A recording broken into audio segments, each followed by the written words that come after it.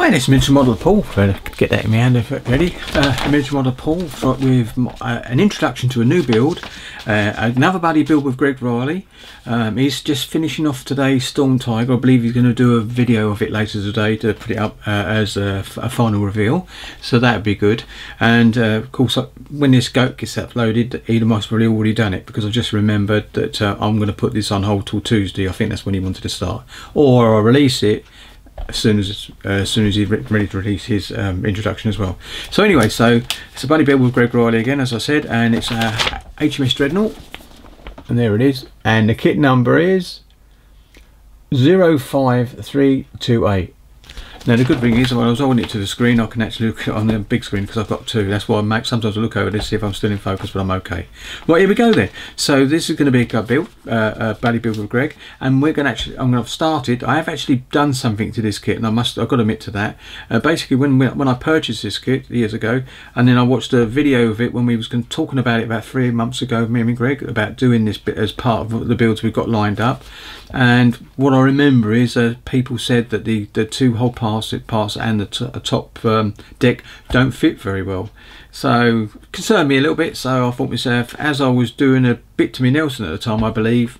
So what I decided to do is um, get it out, clean it up as much best I could, I clean up, and, and, what I mean is remove all the seams and any little raised areas on the joins that join the two holes together. Did that, took a little while on that glued them together and perfect they, they, it's, it's, okay. So that's good. Also then I put the obviously all the strengtheners in while I was doing that as well. So you've actually got the strength uh, running through you'll see that when I show you it in a minute at the bench. And also I drilled two holes in the bottom to make sure that I got uh, the right uh, opening for my pedestals. And and while I was doing that I also did the stand because I used the whole holes to measure put the locations for it in the bottom of the clear case. So when I put the pedestals in they're all that's all in situ. And the nuts were put inside and I used a, a, a resin uh, solution to actually hold it in place. The good thing is because when you screw in it's pulling it down it, it's actually uh, not doing anything uh, underward to the actual fitting of the nut inside. And that's really in there. It's solid it's okay so that's done. And then then I took the stick part out and also took the um, the uh, the top bit that goes along the top, the upper uh, structure as well, just to make sure they fit because that was mentioned as well so what I I'll, do is do those as well. Clean them all up as as I did previously got rid of any seam marks and the deck slid into place quite nicely and it's okay so there's no problem with that at all including the top bit. There's a slight um, camp chamfer on it basically but I can with a bit of glue because it's not bad it'll hold it all down when it comes to the, doing that in later on. So that's it that's where she is now. I did put the four um, the uh, propeller shafts or, or screw shafts or whatever. I just call them propellers for now. Propeller shafts on underneath because uh, there's I think there's four of them if I remember. And I put them in place clean them all up and they're in place as well. So that's as far as that kit went. That was just test fit fitting make sure those components which was a bit concerning that, that would be okay and they are. So I'm quite happy with that. Now the the only bits up there now is the hole itself sitting on the pl plastic stand which I did make. So it could sit on there and it's sitting on in the case where it is just to keep it out of harm's way. And that's it. Now here's the box. This is the actual kit box. And and there she is. Oops if I can get in there. Good there you go. So that's that's that's what she is. Looks really nice and it, you say nice picture on the front and all I must admit. So really looking forward to doing this one Right then, so what we're going to do now is we're going to go down to the. Oh yeah, I will say that the Nelson isn't going to be forgotten because uh, this Thursday I've got the gas man coming for the new boiler in. So what I'm going to be doing is I'll be taking all my mushrooms, as uh, Ron calls them, we'll take them downstairs to do that. I think I mentioned that in a previous video as well. So that, that'd be Friday. Anyway, of this coming week. Right, let's go down to the bench and have a look, see what's in the box or what's left in the box because there's still a lot in there. Here we go then. Uh, I thought this would be quite good uh, to show in a box of this size. So really looking forward to this build. As I said, here it is 350 of Dreadnought and Trumpeter. As you can see, and if you want to, you can freeze that bit and actually uh, read it. I think you can read it over there. Yeah, you can. I can just see on the monitor. Lovely. So there you go. And on the other side, you got the old bits of the box with the Dreadnought and obviously the PE parts and they're in the kit so we've got kit parts and plus my Eduard so I've got on backed up bit first I like to use some of the kit parts because sometimes the kit parts are a bit stronger and thicker to work with. There you go so there you go. And uh, just out of interest that's what we do with our box. With box when I'm going to be the ones I'm working with uh, with bread with. So there you go I'm hoping that sun's going to come off that that's the light's going to come off that a little bit. There you go oops so if I do that yeah, it just keeps it off a little bit, doesn't it? Here we go. So let's get it out there. And the first thing I'm going to see is a lot of shiny bits. But anyway, that's the deck. It's a bit of chain, and there it is, very nice. You get actually masks in this one as well, as you can see. Now, obviously, if you if, if you need them or not, but I'm, uh, what I'm going to be doing is painting up painting up the hole in the correct colour and then obviously the, the deck will fit over the top so it saves painting anything underneath the deck and that's the idea of doing it so looks nice and you've got actually a nice wooden uh, plinth there to put it in there if you wanted to as well and I might use that actually so you never know. There you go. That's that bit I'll put it over out of the way.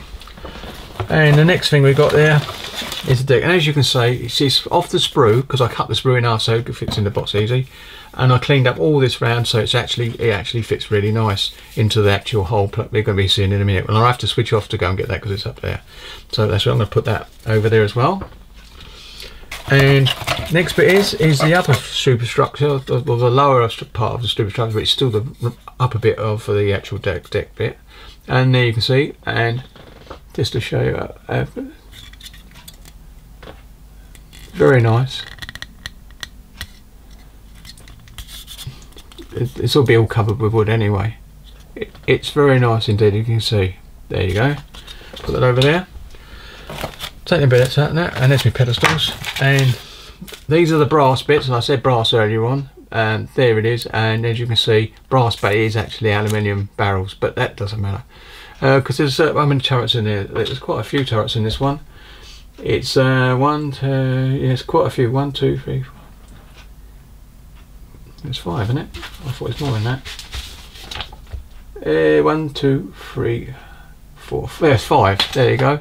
And and there's the actual barrels. And that's the kit. If you want to get this one, there's the actual number. If you freeze frame, you'll be able to get that information there.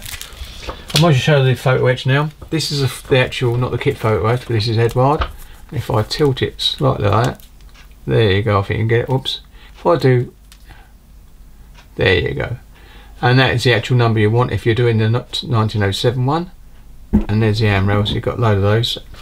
So that's that one. And then this is this that's the actual um, they call that one the railing set. And this is the actual uh, detail set. And there it is. That's what it looks like. And then there's the number if you wanted it. As you can see it's quite a bit there. Um, a few bits and pieces. There is some staircases there as well, as you can see them.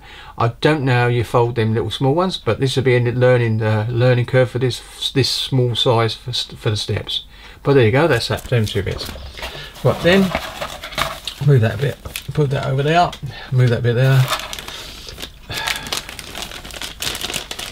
I think I can actually take this out, this, out the actual thing. There we go, let's get this. I'll get over there. There you go. These are the boats and bits and pieces. Quite a nice detail.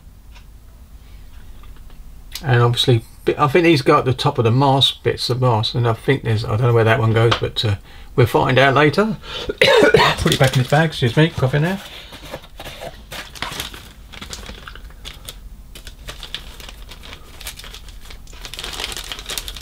There you go. Now this was where, where the actual parts were that I took off. Obviously the, the hole, and this has been cut in half as well because there's another bit down here somewhere. Uh, there it is. That's the other part of it. So it's quite a bit missing off there, but it's all been taken off and used. And see there's bits missing, but that's to do the bits I did, the propeller shafts, and there's a bit more of the. This bit here because the bits that go along the side of the ship, I actually put those in the actual uh, stabilisers that run along the side of the hull. I did those as well because it's all part of the build to make sure, and I thought myself, I might as well do that to get it done. So that was that done. Move that bit out of the way. Then we go to this bit. I'm going to have to. I'll this is another part. This was part another part of the sprue, and um, it's a C sprue, and details are quite nice as you can see.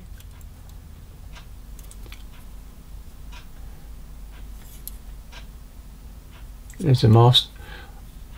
It's going to be a plastic mask, I think. I don't. I don't. I might be try and do some brass rod or something. I'm not sure yet. Uh, may go with a plastic one. There you go. So I put that there. Cut this bag because this one needs doing it.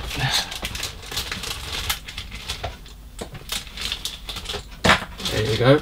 This is an X sprue, and this one's the um, F sprue.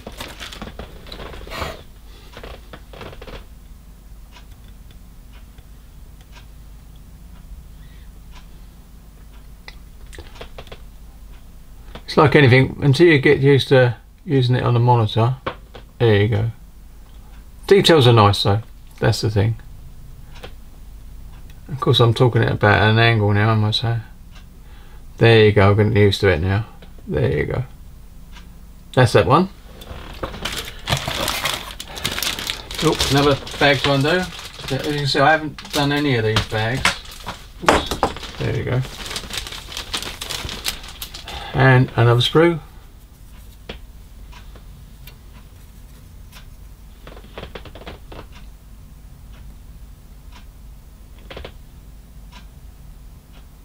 Just getting used to the camera angle and knowing where bits and pieces are but yeah it looks very nicely detailed. Got the two funnels there you can see these two bits here. Very nice. It looks so small compared to the actual um, the actual Nelson. Obviously being one to one scale would be. There you go Put that one back in its bag. That's it. And then we come into... I'm going to have to take this one out. Uh, where's I put my knife? I oh, dropped on the floor. That's what that bang was. There we go. Right, let's get this one out.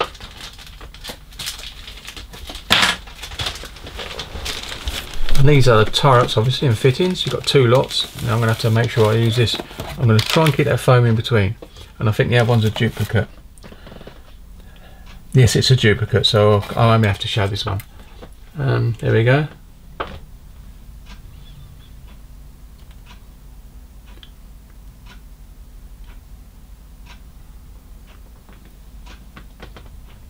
Gives you an idea of the detail.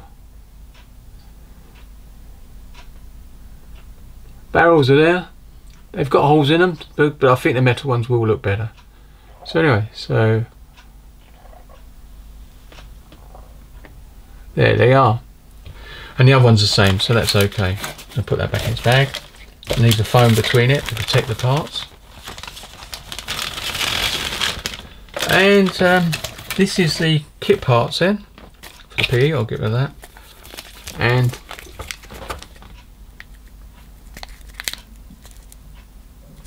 for the other side. It looks like for the boats, but it looks fit. Yeah, the boats. And they've got steps on there as well. Yes, that's okay. And that's better. And you've got two chimneys. As see, the two chimneys I've got the same as what I'm building for the actual um, Nelson as well. So very similar things. Where's spiders? I'll call them little spiders. And a chain in there as well. And on the other side, handrails. Now, with, I don't think there's enough handrails to go around the whole ship, so the, the actual Eduard set would really come in handy for that. That's a bit of plastic I was using when I was doing my bits. And then we've got the, I'm not going to take them out of the bag, but the flags.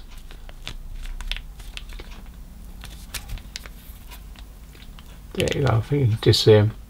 Royal Navy flags, the ensign, there you go. And um, I've got this 350th um, suitable for rigging ships and I got this one. I've got plenty of rigging anyway stuff but I got this one because it said 350 and I thought I'd have a look and see what it's like.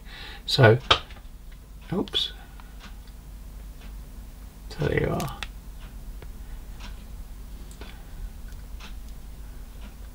There you go. Right, that's it.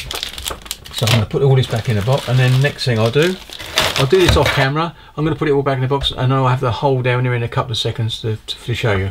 Excuse my hand going around the corner.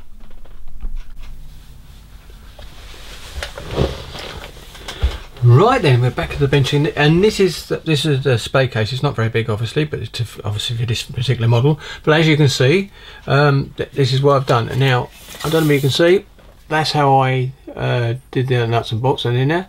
I reinforced the, the, the, hole inside with plastic card as well to give it a bit, more strength, and that's what that bit of plastic was still in the box. That'll go back in my spares box later on. Did the other end. How did the uh, the strengtheners all the way through, and including the small one at the end. And as I said I cleaned that really really carefully to make sure it goes. And swing over the other side and as you can see I've done a lot of it's funny enough you can't see the filling but it's as smooth as a baby's bottom as they used to say in the old days. But you can see the nuts uh, through, it through there and you can see where I actually got the the shafts in place as well. So it's all been built for that part. So that's as far as now I haven't drilled any of the holes yet and I will be drilling out the old um, the portholes because that'd be the first one. But as you can see that's what it is. Now this is the case. Now if I take that bit this just to protect the, the, bottom. You can see the two holes in there and they line up perfectly with the pedestals that are in a box that you saw in, the, in my model kit. You'll see the pedestals later. I will show them when I'm actually building it. So what I do is to protect the old I'll put it in there and that sits there and that sits there on top of there just just to keep it. So when I'm building it on the depth test that's the, the stand it will be on.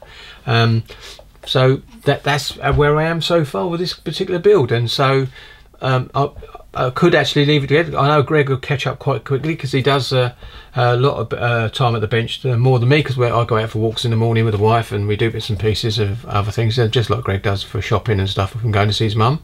And so it's all the same thing. So sometimes on a day that he's not doing hardly anything at the bench, I I get the time to do it. So there you go. So anyway, just that show you how far I've got with this uh, kit. And as you can see, the superstructure is too big for the actual um, Nelson to go on it. Uh, you can see I've done a little bit at the back of that one anyway, the handrails on now. There you go. Got the handrails and bits and pieces on there. Not glued in place because obviously there's things underneath that go there, but that's there. So anyway, what so that's bit bit done, and uh, hopefully then this will be uh, starting on Tuesday or whenever Greg's ready to start as well. Because if he starts wants to start earlier, I'll do it. So, so the date for this video we're recording will be today, which is Sunday. But obviously, it, it, may not be uploaded until Tuesday. So anyway, so thank you very much for watching, and a quick shout out to Ron Calvary. Uh, over at uh, uh, his model ship model ships I actually got up this morning and actually saw saw his video at the normal time instead of early hours in the morning I love what he's doing, and, and, and it gives me tips as well. You you can't, no matter who the modeler is, you'll get tips off them. And I've used his clamp method. He's, but I didn't make the wooden blocks to put the, the actual tweezers in. When I was old, uh, where's my tweezers? Uh, anyway, the black tweezers, oh, where they are. These tweezers. I actually sharp, I actually sharpen these off, as you can see, to actually go into small gaps to do the steps on, on the Nelson.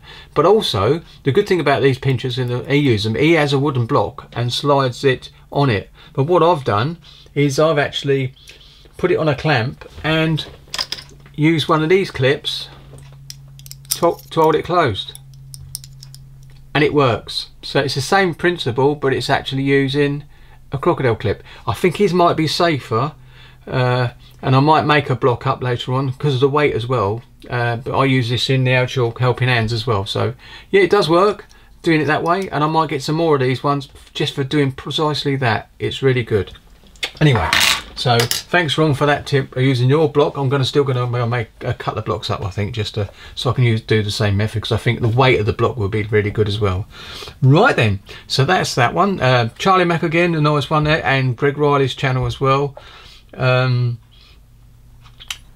I'll, I'll, think of some more for the next one. I might have a search of the ones I keep looking at on the regular basis. Oh, I'm, I'm going to have to thank someone that was do it, uh, finished his his um, Arizona, the one 200 scale one, and I asked him what the height was for for for the actual ship, and he said it was just over a foot, about a foot from the back bottom of the hole to the top of the top mast. The reason I want that is because I want to have a case made for that one so that when I've got it, when I start building it and it's finished, I can actually put it into a case a bit similar to this one. Anyway, so I'll get those made. So, and uh, and and so I can send away from that a bit later on anyway. So so that's what I want to do. So I'll be looking out for his, his website, and then I'll be able to thank him uh, on by doing an um, shout outs. So thank you very much anyway. So my next one there will be a few shout outs, and I'll catch you on the next one. Happy modelling. Just going to go and switch the camera off.